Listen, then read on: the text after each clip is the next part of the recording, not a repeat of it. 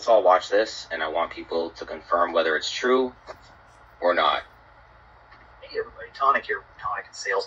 Um, so I made a call earlier today. Some of us in like the new been speculating like why is Rada streaming like six, seven times a day for like hours on end.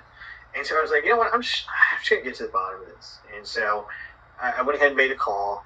Um, it was like a good hour ago to I'm not going to say the department, and I actually can't even put up the phone call to be honest with you because Florida's two-party state rule. But I went ahead and asked, "Is this employee still with you? Are they still working with you?"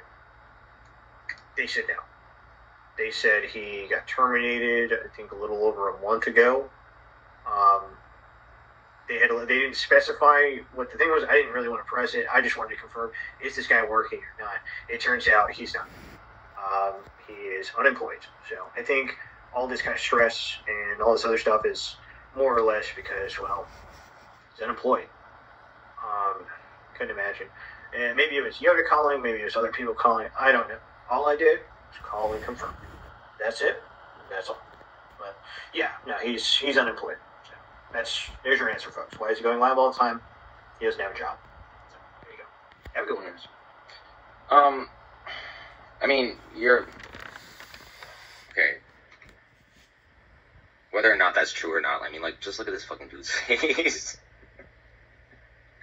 and he's talking about someone having a job or not. it's just like, what? Um, second off, what the fuck is Lauren doing in your fucking background, you weirdo? Oh my god. God. Oh my god.